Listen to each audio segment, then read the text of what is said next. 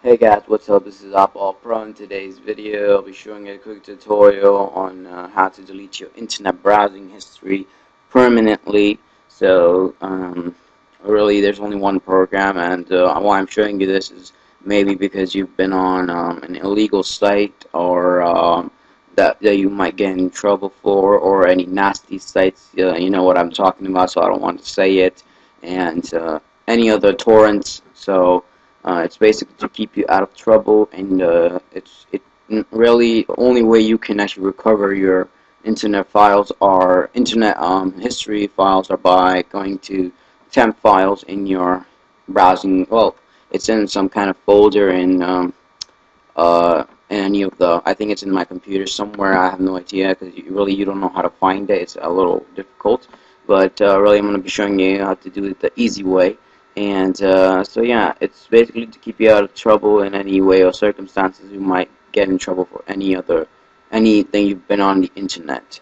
It deletes your uh, so first of all I'm just gonna tell you what it deletes uh, which browsing data it will delete and which for which browsing um, uh, browsing software. So it deletes for Google Chrome for Safari uh, for Internet Explorer uh, um,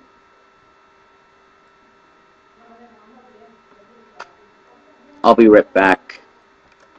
So basically, I'm going to show you, yeah, again, so it deletes for internet, it deletes your temp, temp files, history, cookies, and autocomplete from form history and index.dat file. So basically, from temporary files and cookies and index.dat files, it will recover your internet browsing history. And which, so what this program allows you to do, it's, it's called Piriform uh, CCleaner. So what this program allows you to do is delete your browsing history, cookies, and autocomplete form history and index that, that file for Internet Explorer, for Firefox, for Google Chrome, for Opera, for Safari, for Windows, recycling bin. Uh, it also deletes stuff from your recycling bin, recent documents, temporary files, and log files from your Windows, and your reg registry cleaner advanced features to remove unused and old hit registry entries. So um, this is the website where you should be getting it from. Uh, this is where you can get your uh, CCleaner from. I'll put the link in the description. And what you really gotta do is tap on or click on download, and uh, you want to scroll down. It should say free, CCleaner free. There's no support. Forget that. It does not matter.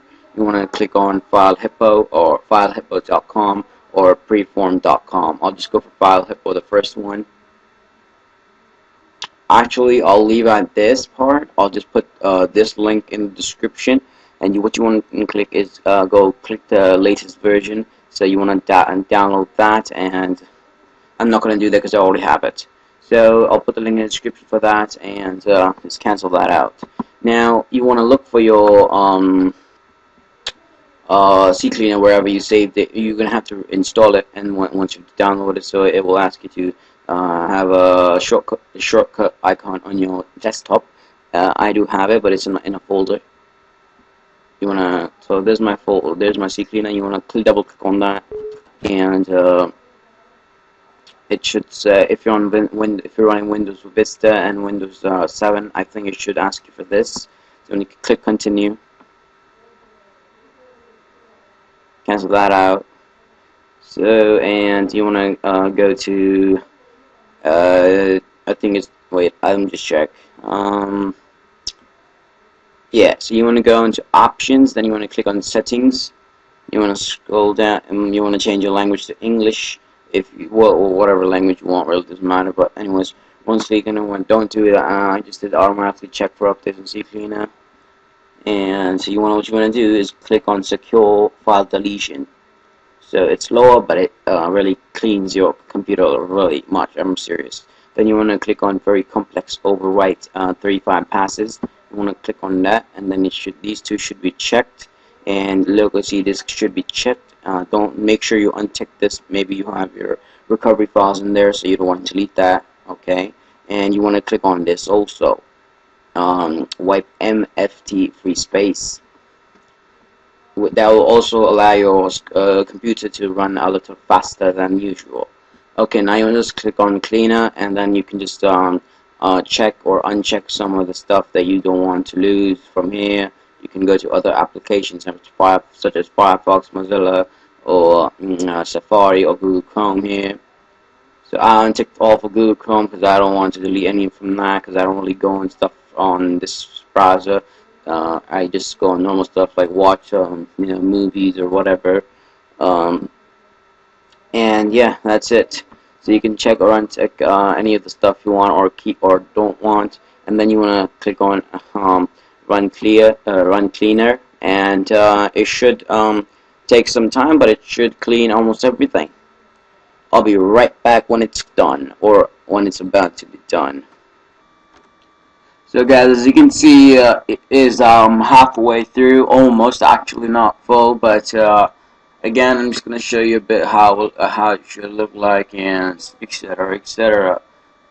Really, I just, you know, get on the, so one more thing I would like to clarify, um, sometimes when you're browsing on a tab, uh, when you're browsing on um, uh, internet browser such a uh, one, uh, uh, especially the one that you want to delete uh, browsing history from uh, using CCleaner. So when you're during during the process of the CCleaner, you cannot browse on the browser that you want to delete history.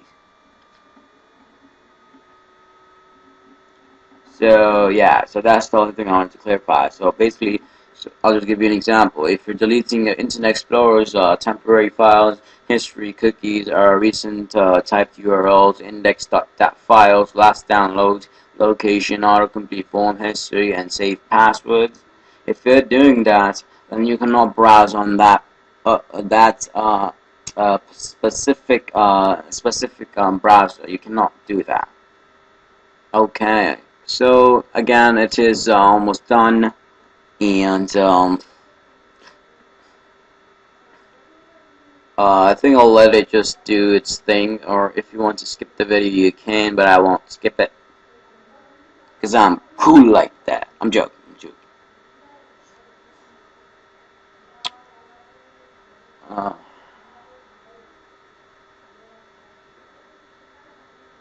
and as you can see it is completed. So um, it should tell you the things that you that it has deleted.